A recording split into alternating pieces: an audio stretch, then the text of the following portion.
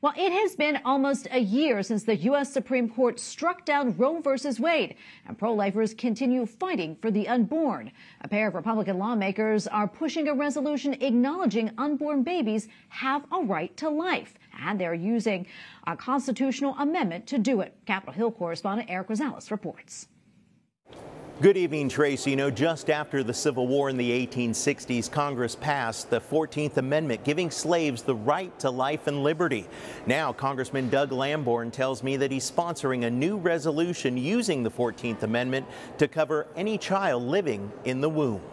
The 14th Amendment was originally intended and should be interpreted now as protecting everyone's right to life, and that includes the unborn.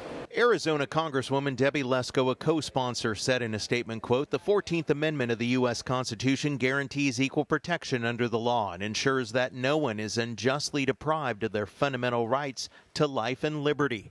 Both say the resolution is consistent with the U.S. Supreme Court's Dobbs decision. But even some pro-life advocates argue against relying only on the 14th Amendment to protect the unborn. I think it would behoove pro-lifers to respect its original intent and perhaps use other means to fight for the protection of the unborn that will ultimately hold up long term and hold up much better than using the 14th Amendment as a bludgeon. Still, Congressman Lamborn tells me people need to think about others instead of just themselves.